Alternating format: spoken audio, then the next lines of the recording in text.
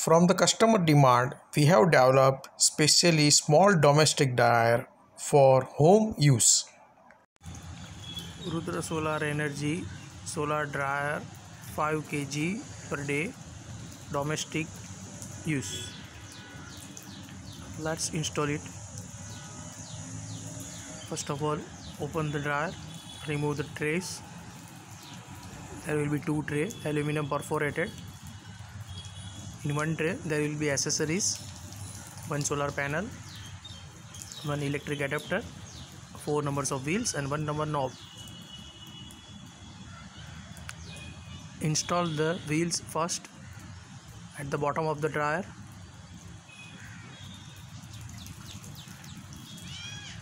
With the help of spanner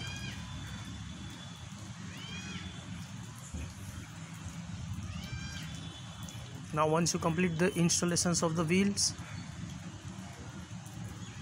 you can proceed further. Or full wheels are installed. Now you have to remove these peels this lamination to get it transparent surface so that solar radiation get penetrate inside. On the top two sides and there is a front with this kind of lamination. Install the knob that is for the door locking purpose. Now put it in the sunlight such that it follows the north south direction. The door should be in the north. And here you can plug in the panel you can load the material want to dry in both trays. Remove that peel completely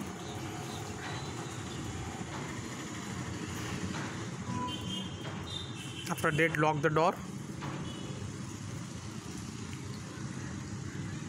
And your dryer is ready to use.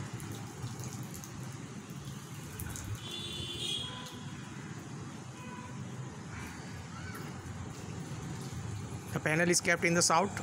The slope is toward north to south. The electric adapter is given to run the fan during the non-sunny hours. You can run the fan in the night also.